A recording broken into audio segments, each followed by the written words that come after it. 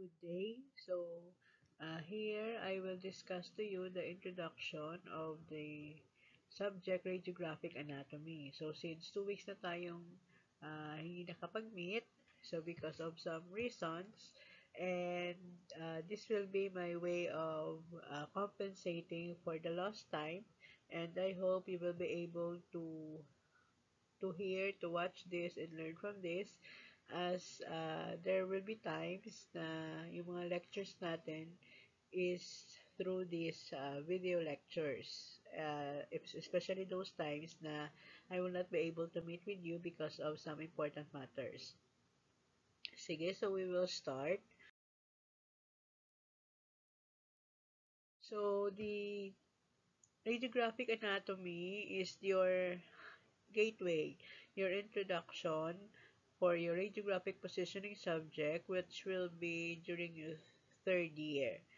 So we will have first the uh, a brief, brief review of what you have learned in your human anatomy and physiology during the previous semester. So we will start with the levels of organization. Actually, it refers to component units of the human body, which are actually four, but in some references, there are five components, and we will discuss each uh, briefly. So since this is just a review of your human anatomy and physiology, so we will start first with the cells. So sir, cells, these are the smallest unit, the basic component of the human body.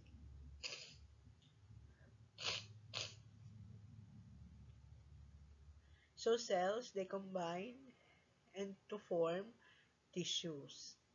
And tissues, they combine to form organs. And organs, they combine, they combine to form organ systems. So those are the four component units of the human body. And uh, just like what I have mentioned, so in some references, there are five. So the number five is the organism or the individual. So organ systems, like we have the reproductive system, we have the digestive system, circulatory system. So all of those systems, organ systems combine to form an organism or an individual. So life is organized into different levels based on the size.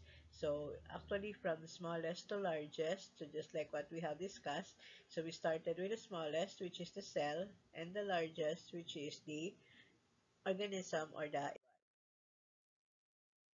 So some organisms are unicellular. So when we say unicellular, so as what you have learned from your uh, anatomy or and medical term, uni means single. So unicellular means that there are some organisms that have only one cell. And one of the most common example for that is the bacteria and as well as the amoeba. So meaning one amoeba or one bacterium, bacterium if singular, bacteria if plural pag marami sila, pero a single amoeba has only one cell, just like what you can see sa picture. So, this is one amoeba. Sorry, how do I this? So, this is one amoeba and it is it is also composed of one cell. So, the body is also uh, is, is also the cell of the amoeba. It has one nucleus and other uh, parts of the organism or the cell. While there are also some organisms that are multicellular. So, uni is one, one cell. Multicellular is multi, so meaning there are many cells. This means that these uh, organisms are made up of many cells, just like most common example, of course, the humans. We are composed of millions or even billions of cells. The trees are the plants as well as the animals. So, just like the frog. So, bakit frog? So, frog, uh, it is the most common uh, animal na ginagamit natin especially for uh, dissecting to study the internal parts of an organism. So unicellular organisms have nothing but a single cell. So just like what I have mentioned, single cell siya because it is unicellular. However, multicellular organisms have many more levels of organization, just like what we have dis discussed. We have, uh, I have mentioned, we have the cells, tissues, organs, organ systems to make sure that the whole body work correctly, even when it's doing many things at the same time. So, kung paga, pag ang isang organism, just like humans, they are composed of many cells, they can also multitask. So, they can do many things at the same time. But of course, syempre, depende pa rin yan sa skill ng tao. Hindi lahat ng tao pwedeng makapag-multitask or kaya mag-multitask, di ba? Usually, pag, uh, ang sabi nila, according sa mga studies, yung mga lalaki, nahihirapan silang mag-multitask. Pero yung babae, so they can do many things at the same time. So that is according to study. Baka i-bash nyo ako eh. Sabihin nyo, kaya rin naman namin eh. Okay? So here we have uh, different levels of organization from atoms to molecules to cells. Actually, we have started with the cells, but uh, again, be known that there are still much smaller components of the body. Aside from the cell, we have atoms and molecules up to the organism.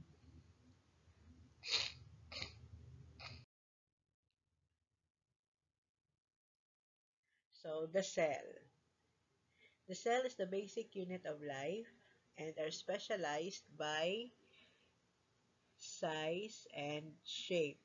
So, the size and the shape of the cells determines their function or their jobs. So, these are examples of cells. So, the one that is moving here, as you can see, is called a paramecium so it is an organism. Usually they are living in fresh water. The paramecium above is made of only one cell and it must perform all the jobs of the organism. So although it has only one cell, still it can perform uh, different functions. So, most example, most common example ng cell is the skin cell, which are uh, the, ano ba tawag doon? The fastest, fastest mag-regenerate. So, it can regenerate, it can reproduce within 24 hours. So, if you have noticed, kung uh, kung mga aksidente, minor accidents, may scratches, so usually, after 24 hours, medyo uh, naghihilom na siya. So these are the different types of cells in the body. We have stem cells or the youngest. Young cells, the youngest cells, just like what we have discussed in our, uh, sorry, sa third year pala yan. So stem cells are the youngest cells of all. So the stem cells can, from the bone marrow, they are nourished, they are nurtured inside the bone marrow, and once they become mature or adults, they can become uh, anything. They can, I mean, they can become any cells. So from stem cells, it can regenerate to bone cells, to blood cells, muscle cells, etc. And also stem cells, if they are abnormal, uh, if they have abnormal parents during their mitosis phase, so they can also result to become a cancer cell. So, have you heard of a stem cell therapy? I'm sure you have. So, uh, mas common na ginagamit yung stem cell therapy if one is suffering from a certain condition or if one wants to look uh, younger, vigorous, functioning. Because, for example, if you have a saggy face, kasi medyo matanda na, marami ng wrinkles, if you want to regenerate new skin para mamukhang mas bata, mas glowing, so they will use stem cells because it can regenerate to become a skin cell which is uh, again it will look younger because it comes from the younger or the youngest cell which is the stem cells. So for your assignment so uh, in a I think one half siguro in a one half yellow pad crosswise so determine the functions of each cell So, kung ano yung pinaka, yung main function lang at mga one-liner siguro, one sentence. Okay? That will be your assignment and it will be, it must be submitted next meeting, which is next week. So, before we proceed to another topic, I have here a video and uh, this is to let you understand better these uh, levels of organization.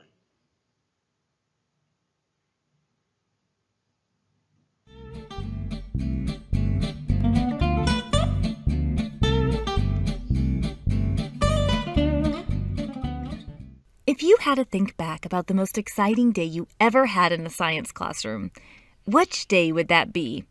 Now, looking back through the years, we have a few. The time we participated in an earthworm dissection, the time we took apart an owl pellet, the osmosis eggs, all of the fruit flies and genetic experiments. Oh, I could go on, but I will never forget one day in my ninth grade science class. My teacher brought in pond water and I put one drop of pond water on a microscope slide and saw the most amazing thing ever. I saw an amoeba. A single celled amoeba on that microscope slide, and I was forever stuck on science from that point on. Because I could not believe that this little cell was there, alive on this slide, still eating, because that's what amoebas do a lot.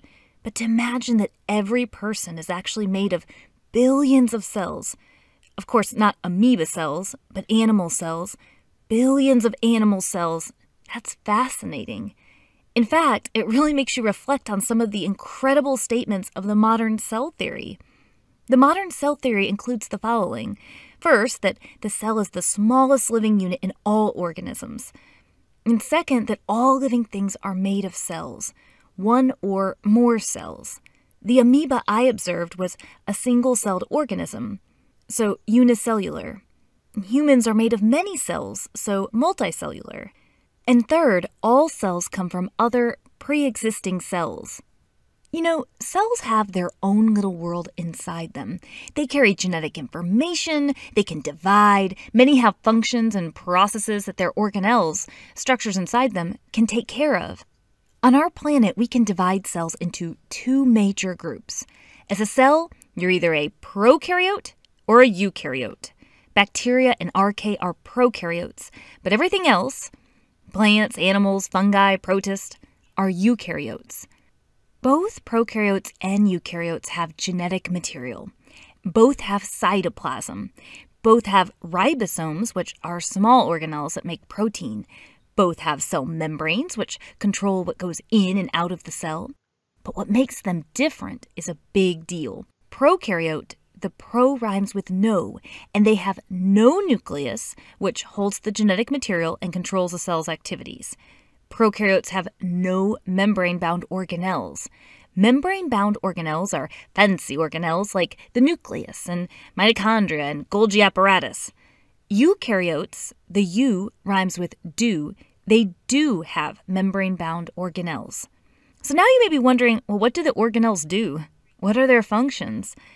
Well, you know our style. We love our science with a side of comics.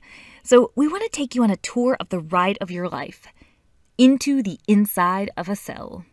Now, to start our trip, we're going to have to get through this cell membrane, also called a plasma membrane. It's selectively permeable, which means that it only lets certain select materials in and out, but by doing so, it keeps things in the cell stable, also known as keeping homeostasis.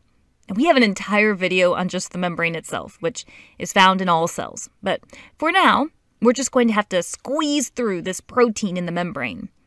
Now, inside the cell, we find ourselves in this jelly like material called cytoplasm. It surrounds all these internal cell structures, and you'll find it inside both prokaryotes and eukaryotes. Now, organelles that are floating around in the cytoplasm can have more support than you might think. Cells contain a cytoskeleton, which is a collection of fibers that can provide support for the cell and its organelles. And the cytoskeleton can even play a major role in cell movement. The cytoskeleton actually deserves its own video because it's very complex and its organization can vary depending on what kind of cell you're looking at.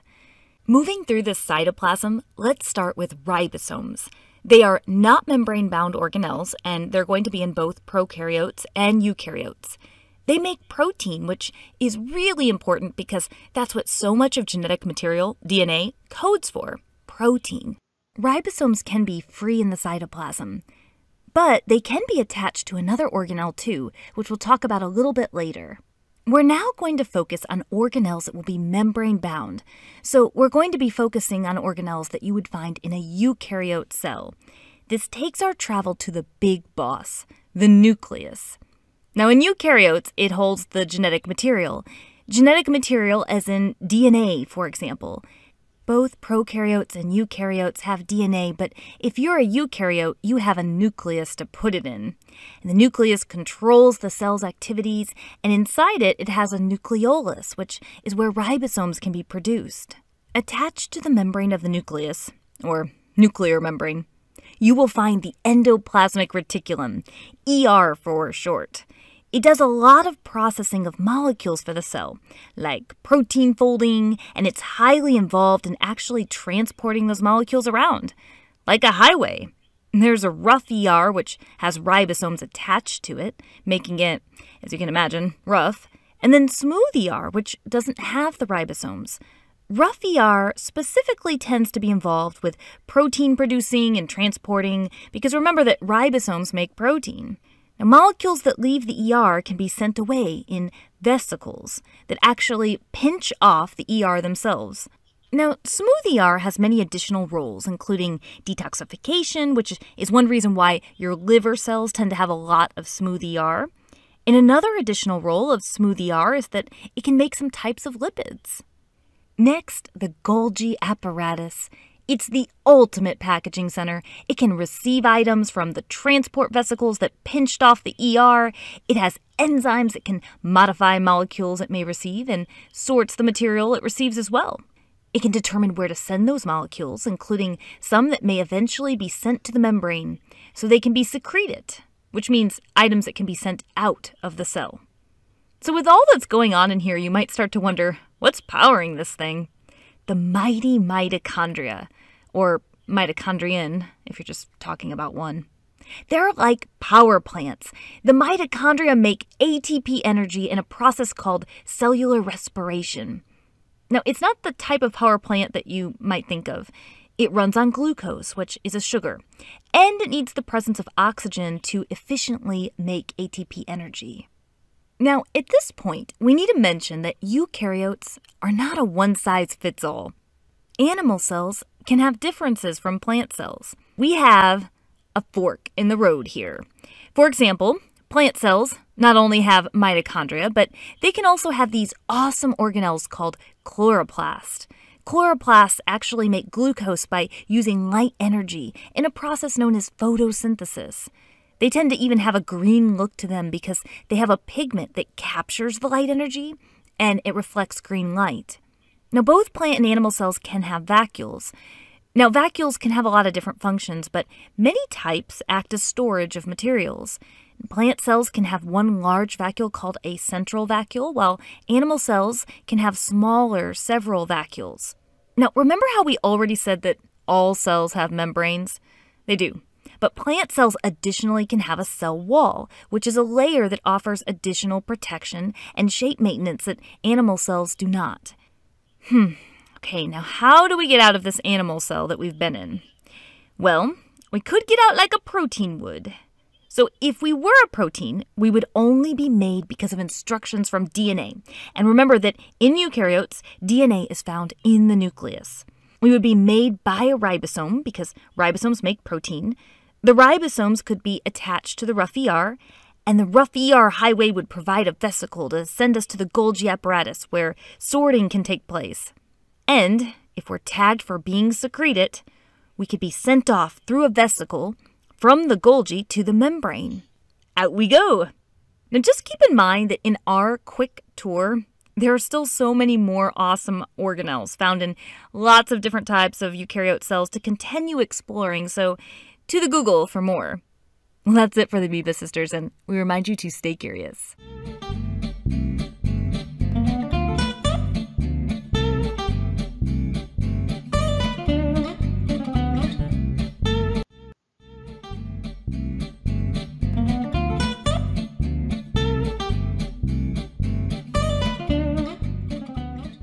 If you had a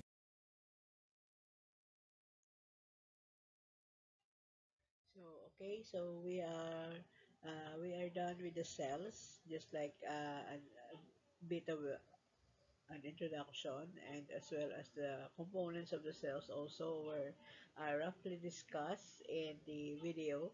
So next are the tissues in our body. So uh, we have different tissues in our body, just like in the uh, picture here, we have smooth muscle tissues, cardiac muscle tissues, connective tissues, etc. So tissues are made of the same type of cells which are grouped together to do a specific job. So just like in one of the previous slides, I have mentioned that cells combine to form tissues. So actually they are the same cells that combine to form tissues. For example, if we are talking about the liver tissues or the tissues found in the liver, so they are composed of uh, liver cells or hepatic cells. So they form together to find to form they they sorry they come together they form together to make up the tissue. So again, humans have four kinds of tissue and they are the epithelial, muscle, and connecti- connective and nerve tissues. So this is how they look like under under the microscope. So we have here the connect so connective tissue as well as the nerve tissue, muscle, endothelial. So sorry I skipped that one. So I don't know how to to to return. But let's proceed to organs. So organs are made up of different tissues that work together to do a job. So just like the tissues, so the cells, the same cells combine to form tissues, as well as the same tissues combined to form organs. So the most common example is obviously the heart. So these are examples also of the different organs in our body. We have the brain, the larynx, the liver, stomach, large intestine, small intestine, lungs, heart, and so on. Next are the organ systems. So an organ system is a group of organs working together. Can you guess what picture is this? Picture of what? So while you're thinking, so examples of organ systems include circulatory, reproductive system, digestive, nervous, and respiratory. So let's go back to this picture. What is this? You get did you get get did you get it? So it's a frog. So dissected frog.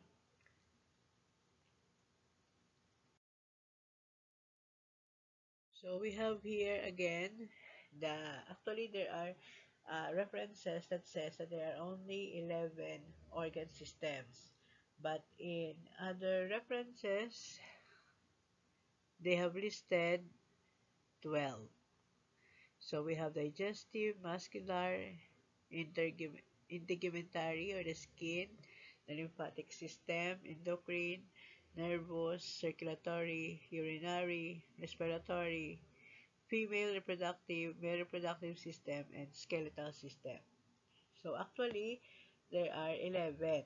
So, 11 naman talaga because naging 12 is a picture because they have separated the male and the female reproductive organs. So, if we combine reproductive organs, there are still 11 human body organ systems. So, this is another video that I recommend you to watch.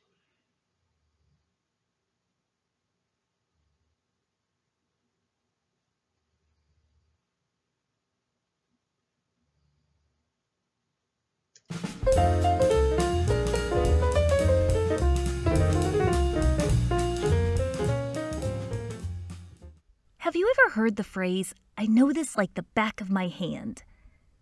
Well, it might make you question do you really know the back of your hand? Because if you really look at your hand, you see your skin, but it's also what you can't see underneath that's pretty incredible. You can't see the millions of cells that make up your hand, at least not without a microscope. We take these cells for granted sometimes, but your body is made up of millions of cells. Cells that work together, cells that are very organized with specific functions, cells that carry your whole DNA code, but use specific parts of your DNA code depending on the cell's function. Your cells make up body tissues. Tissues make up organs, like your heart, for example. And organs are part of an organ system, like your circulatory system. Organ systems are so important for you to understand in order to know how your body works. And one thing to keep in mind is that organ systems, they don't work in isolation. They are not loners. No, they work together and they're part of a big team. So we're going to intro the 11 major organ systems. Now, keep in mind, this is just a quick intro, so we're doing the bare bones, no pun intended, of the systems. And because they are all important, it's kind of hard to know where to start. So, we're going to go in alphabetical order because we don't want you to think that one system is way more important than another. First, the circulatory system. You think of blood, and you should because blood carries gases like oxygen, which your body needs, and helps remove carbon dioxide, which your body needs to expel. Your blood also transports nutrients that your body needs. Your heart is included in the system. It's a pumping machine that transports the blood around. Arteries are vessels that typically carry blood away from the heart. Think A for away. And veins typically carry blood back to the heart. And capillaries are tiny blood vessels throughout your body. Did you ever hear this rumor that your blood is blue and then turns red when it reaches oxygen? Well, guess what? That's not really true. Your blood is red. It's always red, even inside your body, though the shade of red can vary slightly due to the amount of oxygen present. Veins may appear blue or even green to you through the skin, but it's actually related to the wavelengths of light, so to the Google for that. Okay, number two, the digestive system. It's important for breaking down and absorbing food for your body to get nutrients. Digestion actually starts in the mouth. You have some awesome enzymes in your saliva that get this process going. Your stomach contains acid, which furthers this process along. Your small intestine does most of the absorption of nutrients, and your large intestine has to reabsorb a lot of the water from this process. And just to note, there are a lot of accessory organs also involved in this fascinating process. Third, the endocrine system. You know how you're bigger than you were when you were six years old? Unless you are six years old. Growth hormone is a hormone that's made a big impact on you. Or another example, notice how your heart starts to race when you have a big test that maybe you haven't studied for. Well, that's another hormone, adrenaline. The endocrine system includes many glands that secrete hormones like those examples. Another system that starts with E is number four, the excretory system. I like to think exit for excretory because this system is all about excreting waste and I'm not talking about feces because that's still the digestive system. More like urine. This system involves your kidneys, which are in your lower back. The kidneys assist in removing waste from the blood. And you know they're important because anyone with impaired kidneys may need to go on a machine called dialysis. to replace that function. The excretory system also includes other ways of removing waste, such as sweating. Okay, number five, the integumentary system. This long, fancy word, it's appropriate for your largest organ, your skin. Your skin helps protect your organs from outside damage. It helps with temperature regulation and from losing precious water. Number six, the lymphatic slash immune system. Has anyone ever checked your lymph nodes on your neck when you feel sick? Well, you have many lymph nodes, and they tend to swell during some illnesses. See, lymph is this clear fluid from blood plasma. It surrounds your cells, and this system collects, filters, and returns the lymph to blood, and the major role is to help with immune function. This keeps your body safe against pathogens like viruses and bacteria. Structures like lymph nodes, the thymus, spleen, tonsils, and bone marrow, they all play a significant role in your immune system. Okay, so now we're more than halfway done with our intro, so hang in there. Number seven, the muscular system. No bones about it. Your bones can't do much without muscle to move them. You actually have three major types of muscle tissue, known as skeletal, smooth, and cardiac muscle. Number eight, the nervous system. Your body would be a nervous wreck without something to coordinate it.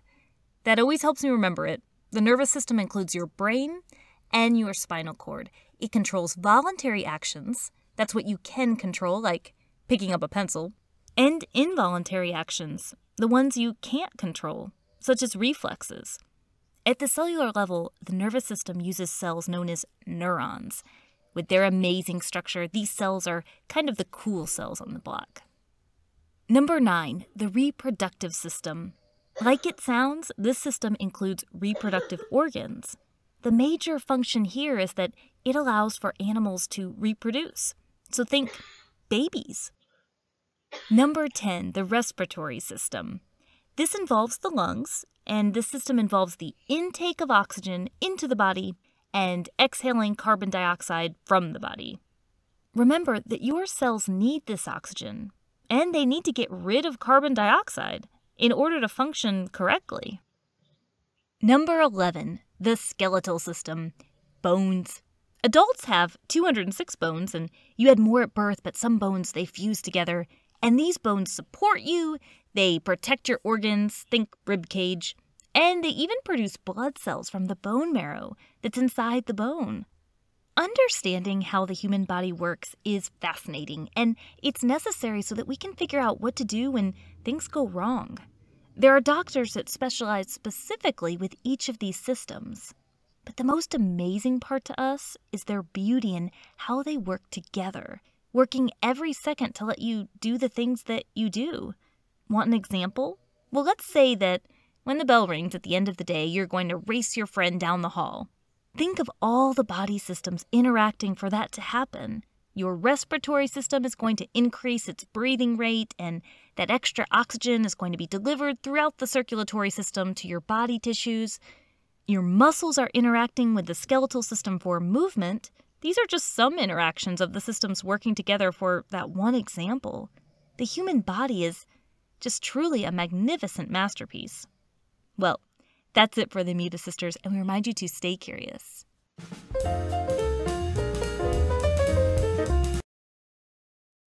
Okay, so uh, I hope you have learned something from that video. So you should also study that because they are very important also in understanding how our body works, especially when we deal with our uh, patients later so that we will be able to understand why they are behaving this way, that way, or this way, and how to take care of them also, especially when uh, positioning them for radiographic examinations.